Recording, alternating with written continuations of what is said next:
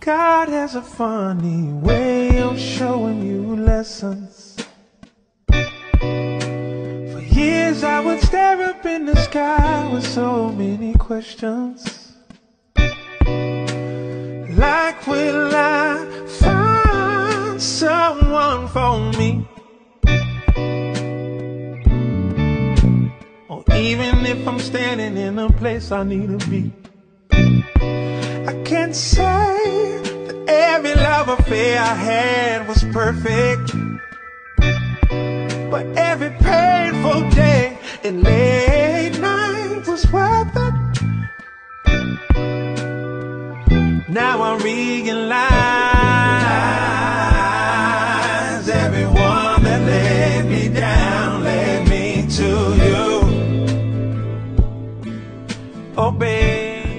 Silke for you, your sweetest. These are my pictures. I did those. Of course, they're sensitive, they're caring, and if you look close enough, you see indigenous. Yes, Mexican indigenous or indigenous from everywhere. Now, it was given to Walter Reuter, Almut's father. You can see his name. And he became one of those narcissistic ego divas, uh, por más no poder. Seriously, diminishing a woman no poder. I mean, outrageously diminishing his daughters, his wives. But look at the pictures. Someone who takes pictures like that cannot diminish a woman. Do you see? I did not know at the time. I did not know anything. I look at the photos. I took it for granted it was this.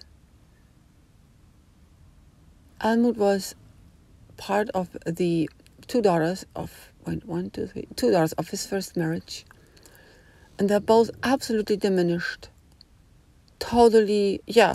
If there's a word for a man called emasculate, how do you call that for a woman?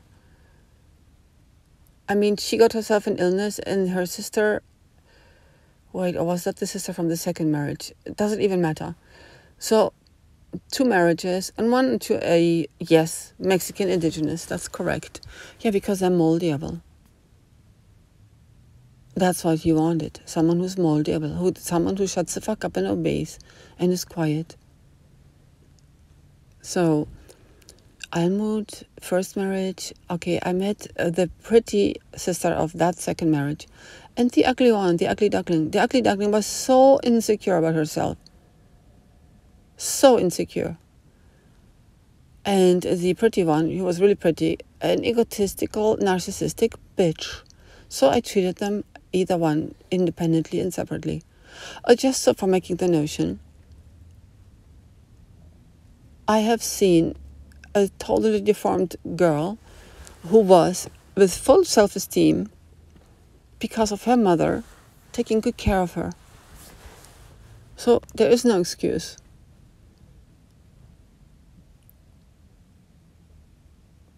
When the father is mean and harsh, and also put on the pedestal, like he is the star, just like another Zacarias, not him in the realm of photography. A daughter has no chance, not, not even with a good mother. But a mother who is submissive, what can the daughter do?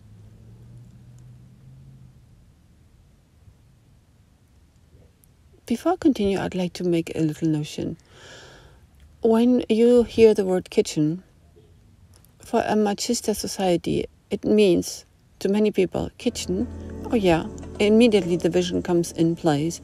Oh, this is the place where there is a woman or all women. And the daughter soon has to be there too, but no men allowed. That's what I mean by association in your language with words.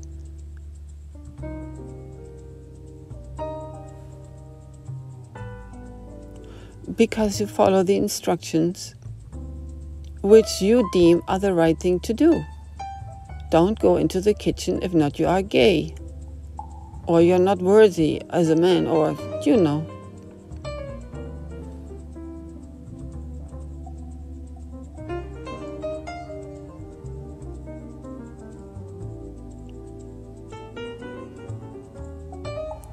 No, I am thinking, and that's what you should be doing. I am thinking. No, I, I'm not just talking. I have purpose to talk and reason. Uh, a lot of things logically I could continue talking about right now, but that is not the issue. The issue is that whatever I say has purpose for you to understand and to learn. So I'm also intending to see why it appears and pops up into my field, whether the story of Walter Reut is relevant to what I just expressed. So here I am and I develop. And that is what you need to do when you are in a relationship. You can't have it figured out in the beginning, all of it. You must develop. And that means you must be open, sensitive, aware for your other person as you also also are aware of yourself and as you also are willing to go where you don't know where it's going to go with your person so you must evaluate maybe and maybe and maybe and maybe and then yeah when you agree and see but this is something which if it's valuable it happens in the field in your intent I am not suggesting to spend endless amounts of time to discuss. In that regard, I'm against democracy. Because democracy, in that regard, means there's two strong people or parties fighting against each other who's got the right and who's got the better argument. This is not what a relationship looks like. Giving in doesn't mean that you are low or slow or not okay. Giving in, if you are with the right person, is exactly what you have to do.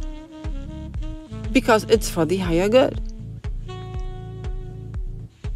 For example, see, emancipation and feminism brought the women to think, at least globally. Now it's time to talk against.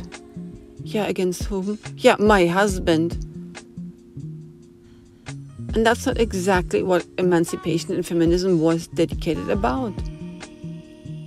Why do you react this way? Because you were told that everything had to be science, meaning ration.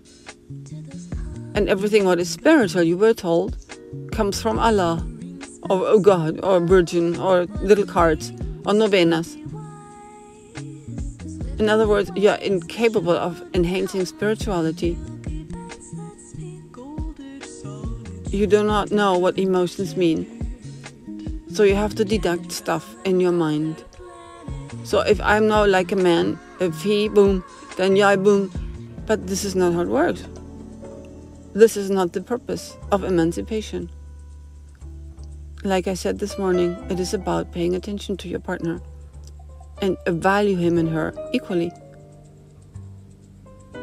Because men and women are not for better or for worse within each other oh, I'm better and you are worse, oh, I'm better. And it is not about it, it's about communion. And yes, I'd like him to go on the roof, save on the ladder, and take care of the stuff. I don't want to go up the ladder, sorry, I do not.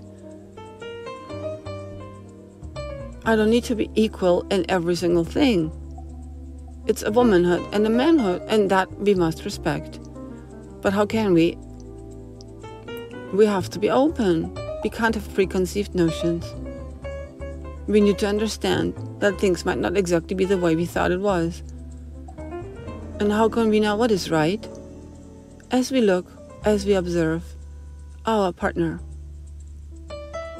And don't you dare for one second not to do that.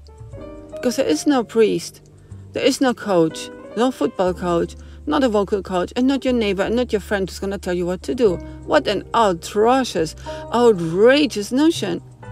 I don't know how to handle my wife. You tell me what to do. Are you a sissy or what? How am I gonna make her do that thing? Are you a Now you're bilingual sissy. You're uh, a dumbass in two languages. What the? What scenario are you facing? Are you to get married to your body? Oh, you're gay?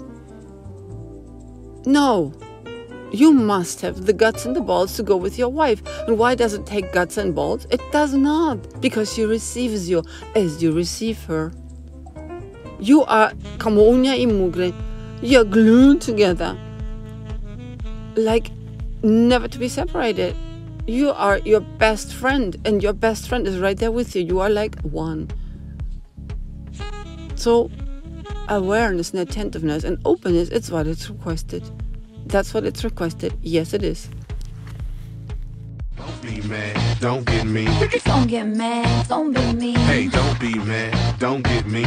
Don't get mad, don't be me. Wait, wait, I don't mean no harm. I can see you with my t-shirt on. I can see you with nothing on. Feeling on me before you bring that on. Bring that on. You know what I mean. Girl, I'm a freaky shit to say. Only trying to get inside of your brain and see if you can work me the way you say. It's okay, it's alright. I got something that you don't like.